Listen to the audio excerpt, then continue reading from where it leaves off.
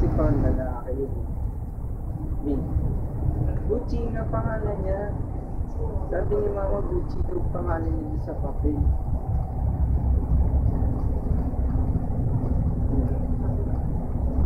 Gucci na lang. Makulit daw ba? Hindi ko kausap ka ni Mama. Na pagdating ko.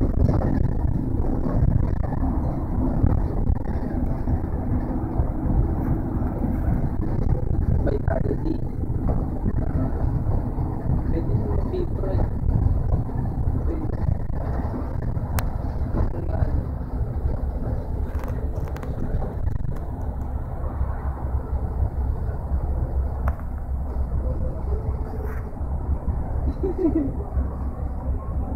So, sa office na rin daw siya nag-sleep.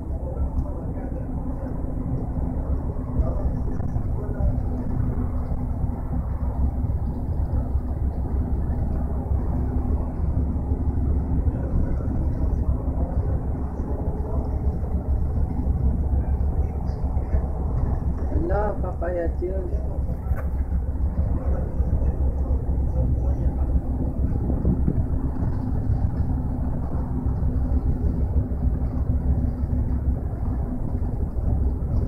Papayat yun. Sabihin mo nga.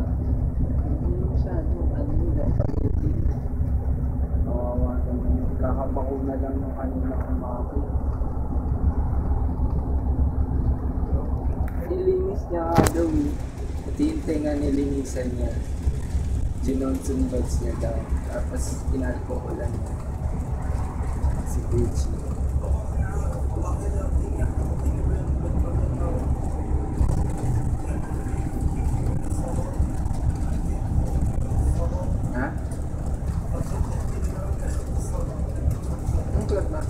May order?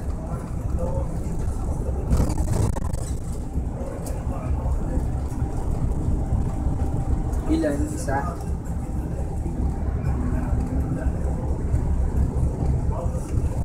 Ano? Ano?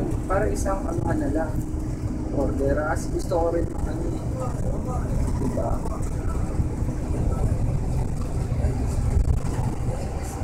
Hindi yung folded na ano na oo, with parent.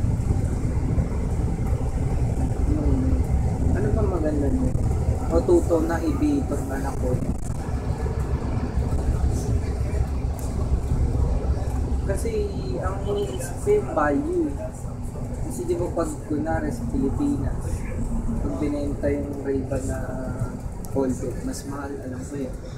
10 10,000 na tayo folded na. Bibigay ito mga 8,000 lang. Pero ano sa tingin mo? Para sa'yo? Magkano sa'yo?